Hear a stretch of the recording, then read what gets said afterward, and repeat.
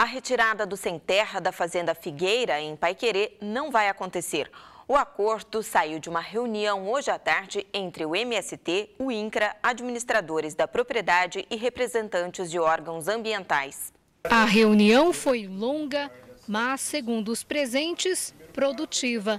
Além de representantes do MST e INCRA, participaram também Polícia Militar, sindicatos e entidades ligadas à questão fundiária e o próprio prefeito, que atuou como uma espécie de coordenador da discussão.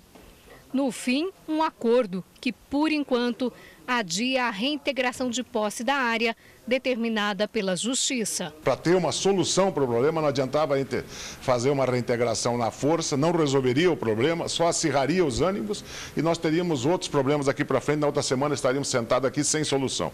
Então, acordo que todos chegamos que temos que achar a solução para o problema. Então, foi tomada ser tomada quatro medidas que eu acredito que nós vamos conseguir resolver essa situação. Pelo acordo, por enquanto, os sem terra vão permanecer na Fazenda Figueira. Além do cadastramento das 1.200 famílias, o INCRA se comprometeu em fazer a vistoria da propriedade. A última atualização eh, no, no cadastro, exatamente, é de 2010. É?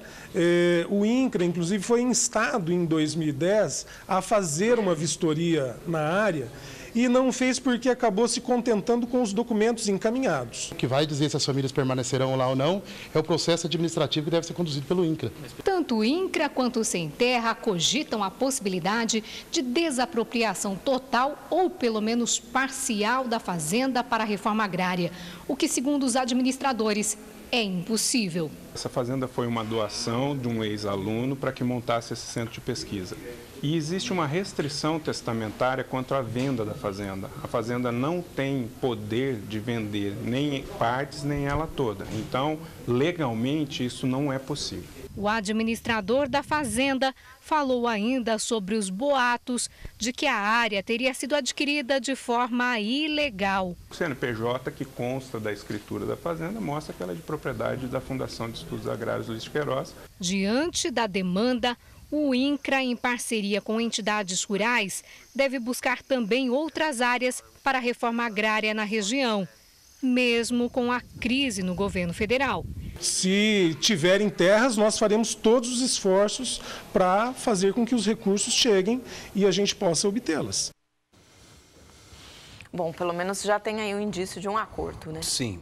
O importante até agora, Patrícia, é que não houve nenhum tipo de conflito lá. A gente não pode dizer também que não há uma certa tensão. É? Não há, há, uma certa tensão ali, porque nós estivemos, nossa equipe esteve lá, conversou com os funcionários da fazenda, são técnicos né, que trabalham em áreas experimentais, em pesquisas, etc. E evidentemente que uma situação dessa, mais de 1.300 famílias chegando, então se você colocar é, no mínimo três pessoas para cada família, você está falando em quase 5 mil pessoas ali, não? um negócio realmente é, movimentado. Então, quem trabalha, são 14, 15 pessoas que trabalham ali que ficam realmente muito preocupadas. Uma fazenda que tem uma conotação diferente e toda vez que uma fazenda experimental é ocupada pelo MST, vem aquela imagem dos laranjais, não é? Já veio aquela imagem dos laranjais. E também daquela invasão lá no Rio Grande do Sul, também numa fazenda de pesquisa. Há essa preocupação. Aqui não aconteceu isso. Aqui eles estão respeitando esse, essa condição, não houve destruição de nenhum experimento, e é o que se esperava mesmo, pelo menos até este momento. E a notícia de se adiar a reintegração de posse não deixa de aliviar essa tensão. Porque com polícia sobrevoando lá com helicóptero, não é? com policiais militares rondando a área, os sem terra já também ficam mais preocupados. Vamos ver agora qual vai ser a decisão do INCRA. É o órgão técnico que vai dizer se essa é, fazenda tem ou não condição de sair para a reforma agrária, né? de, de fins de reforma agrária. Caso contrário, os sem terra não vão sair de lá. Pelo menos é isso que eles estão dizendo, declarando para os jornalistas.